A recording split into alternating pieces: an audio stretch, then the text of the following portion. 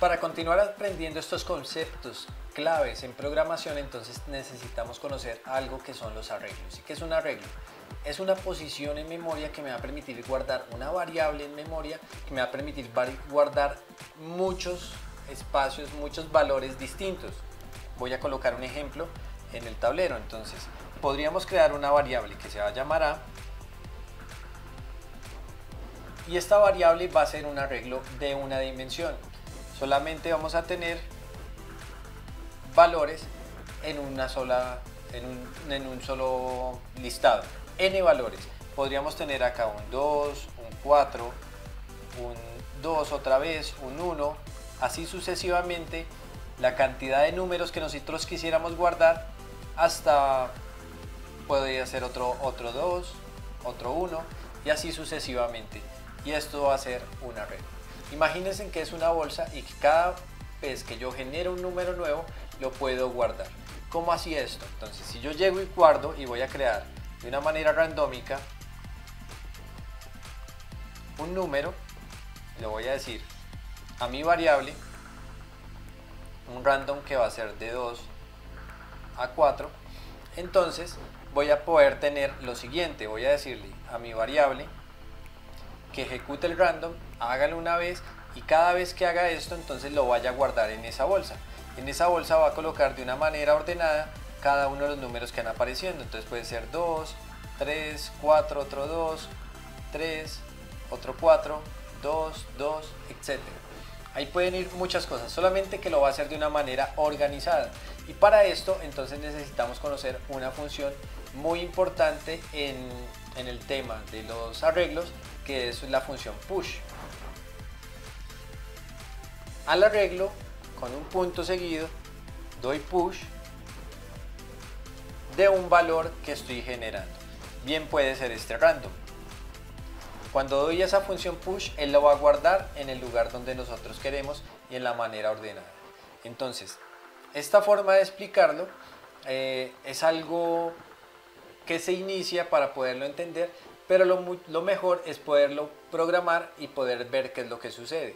¿Qué es lo que vamos a hacer? Vamos a guardar las posiciones en X y en Y en dos variables distintas, eh, tipo arreglo, para después dibujarlas en pantalla y poderles hacer el efecto de que a esas posiciones cambien la intensidad de luz que tiene cada una. Entonces vamos a verlo de inmediato en brackets. Muy bien, estamos en nuestro programa, el que habíamos trabajado anteriormente donde estamos dibujando todos los puntos y es una muy buena forma de poder hacer un cielo estrellado, pero queremos darle más dinamismo. Entonces vamos a crearlo a través de un arreglo.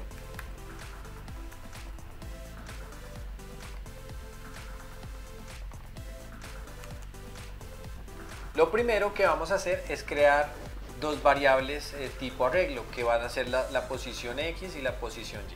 Entonces, para crear una variable tipo arreglo, utilizo la misma palabra var. Le digo que va a ser posición estar va a cambiar estar pos x. Y esto lo voy a hacer igual a un arreglo vacío para los arreglos lo manejamos con llaves cuadradas lo mismo un bar estar pos y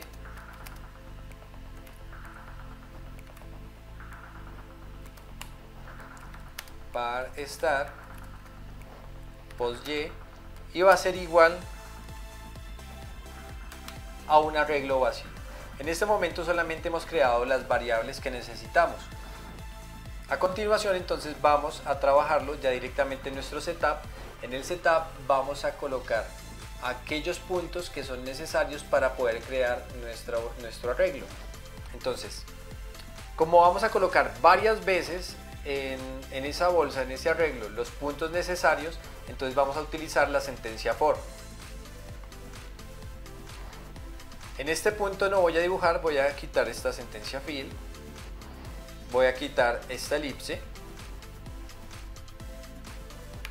Todavía no la voy a dibujar. Y voy a utilizar el, siguiente comando, que es star post x punto push y ese lo vamos a hacer igual a nuestro valor star post x punto push y entre paréntesis vamos a colocar el valor que queremos añadirle a esa variable star post x, eh, a ese arreglo. Entonces vamos a colocarlo random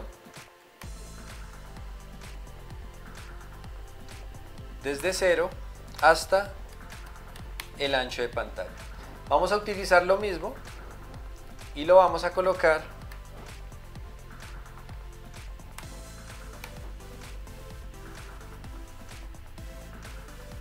para start post y.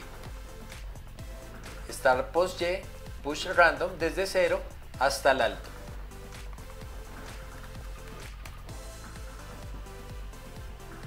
Muy bien, en este punto del programa todavía no estamos dibujando nada, no podemos ver que efectivamente se esté realizando. Y, acá vamos a aprender algo nuevo acerca de la depuración de los programas eh, utilizando Google Chrome. Y es una sentencia la cual vamos a mostrar en nuestra consola de Google Chrome los valores que almacenaron eh, algunos de nuestros registros. Esta sentencia es console.log y vamos a colocar la variable que hemos creado, star postx, coma, star post.y.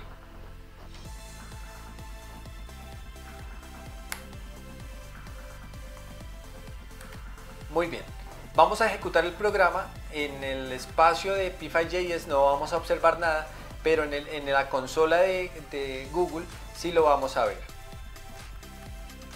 Estamos otra vez en nuestro programa vamos a dar clic derecho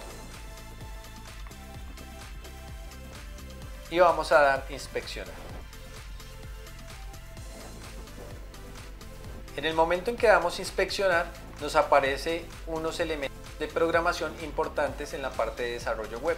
Y acá vamos a tener, eh, de fuera de los elementos, vamos a tener algo que se llama consola. Y es lo que vamos a observar. Hago clic y me está mostrando que en la parte superior tengo un array de, de mil valores en cada uno. Vamos a ver qué valores tenemos, porque tenemos dos arreglos. Uno va a ser la posición X con los valores que tenemos y la otra va a ser la posición Y con los valores que tenemos. Si se dan cuenta, eh, Google Chrome los organiza y me dice los valores que van desde el 0 hasta el 99 y así consecutivamente. Vamos a ver solamente los del 0 hasta el 99 y nos damos cuenta que tenemos un listado de puntos que ya están almacenados en memoria y los cuales vamos a poder ver. Estos serían los correspondientes a, a los puntos para la posición X, y en esta posición vamos a tener los puntos para la posición Entonces ya nos damos cuenta que son aleatorios, están en diferentes lugares de la pantalla y con estos dos puntos vamos ahora sí a poder dibujar en los puntos en el cielo estrellado.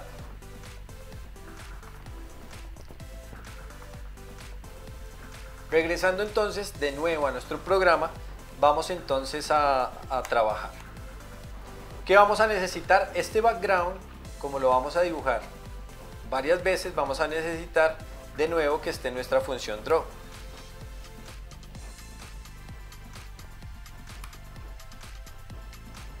Organizando el código, entonces ahora vamos a colocar un recorrido de este programa. ¿Qué vamos a hacer?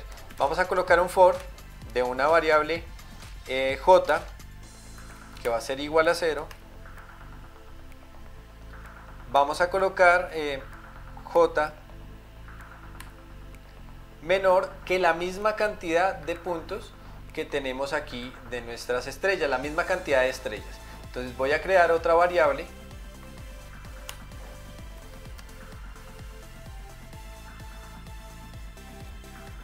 que se va a llamar total stars. Esta sí va a ser una variable numérica, no voy a generar un arreglo. Entonces voy a colocar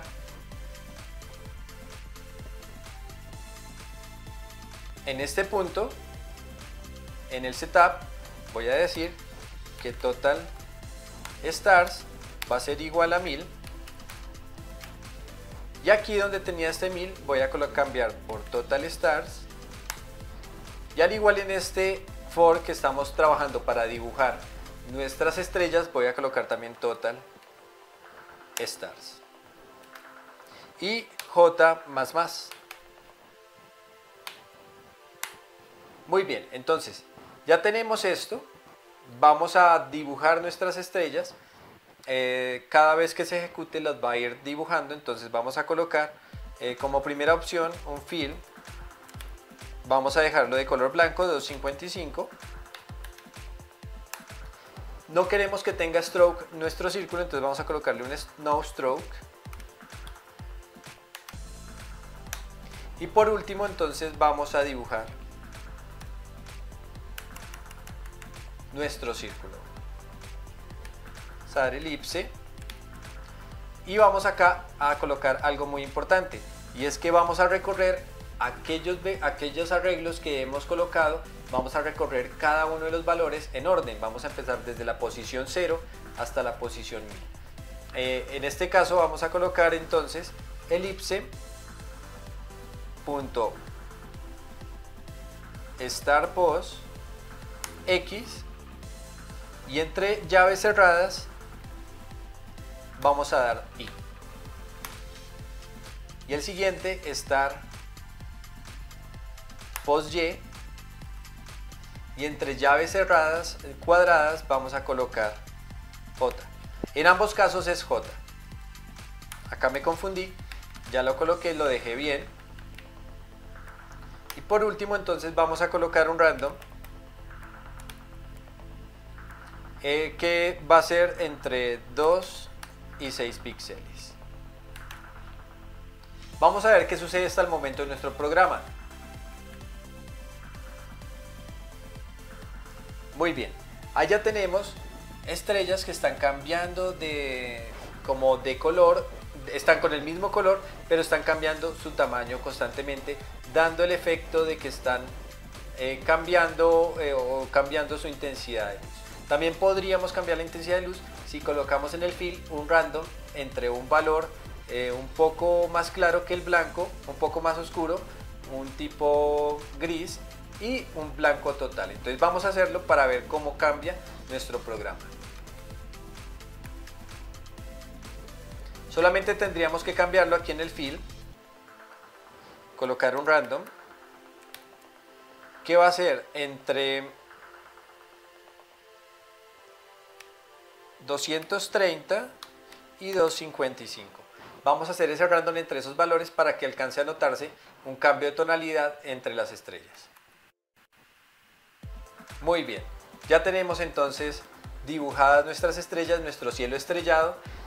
Sé eh, que este concepto de los arreglos es un poco más complejo, pero quería mostrarlo porque me parece que es una buena opción para poder dibujar todo nuestro juego completo en futuros cursos vamos a hablar mucho más detalladamente para que puedas entender estos conceptos eh, de una forma mucho más clara eh, del tema de arreglos y de muchas más cosas que vamos a trabajar en programación. Entonces los espero en el próximo video. Vamos a arreglar ahora nuestro extraterrestre y vamos a ponerlo en este cielo para poderle dar más dinamismo y más vida a aquel dibujo que hicimos antes.